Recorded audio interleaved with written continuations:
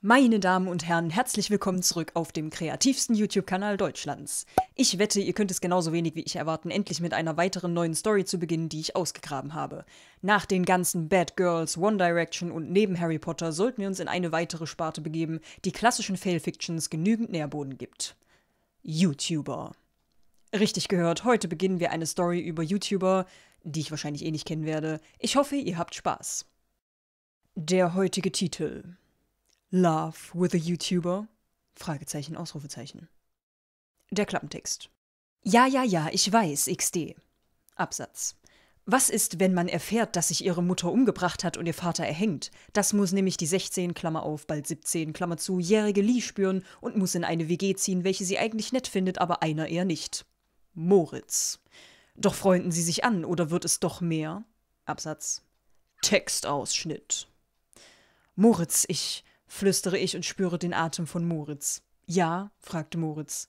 Ich habe mich, glaube, in dich verliebt, flüstere ich noch leiser und sehe beschämt auf meine Schuhe.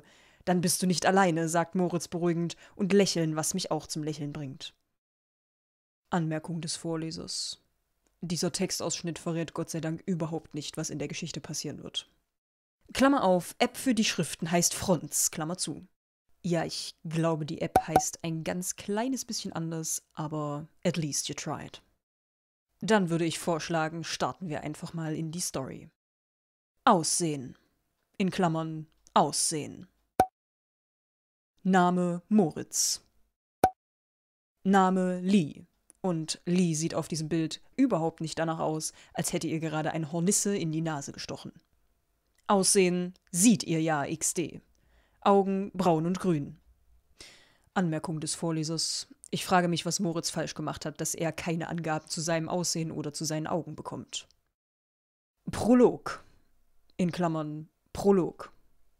Ich liege im Bett und starre an die Decke. Ich liege hier nun ein paar Stunden und starre sie nur an. Warum weiß ich selber nicht. Nach einer halben Stunde klingelt es an der Tür und ich frage mich, warum meine Eltern nicht selber die Tür aufmachen, da sie den Schlüssel eigentlich mitgenommen haben. Also gehe ich aus mein Zimmer.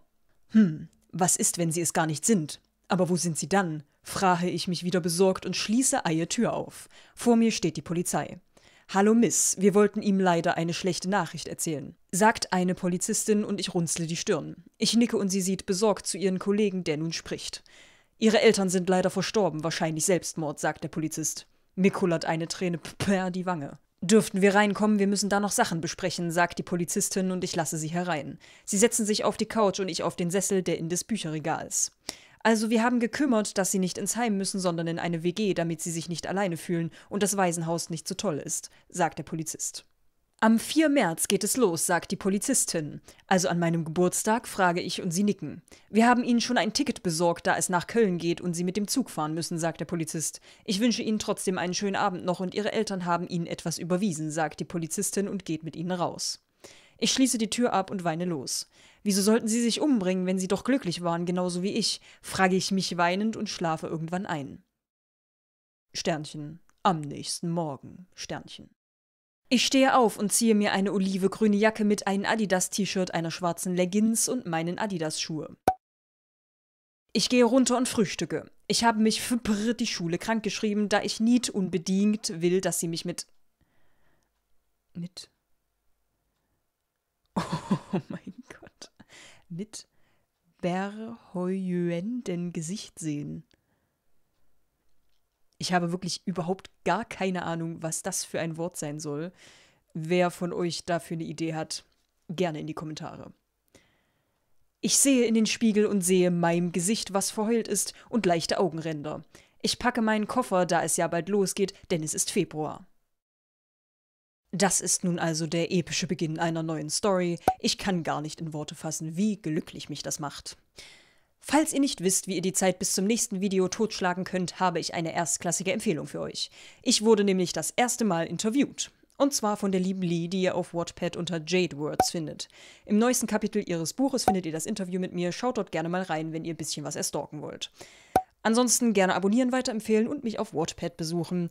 Bis zum nächsten Mal, LGME. Und jetzt kommt noch der Outtake. Dürften wir reinkommen? Wir müssen da noch Sachen besprechen, sagt die Polizistin und ich. Ach, nee.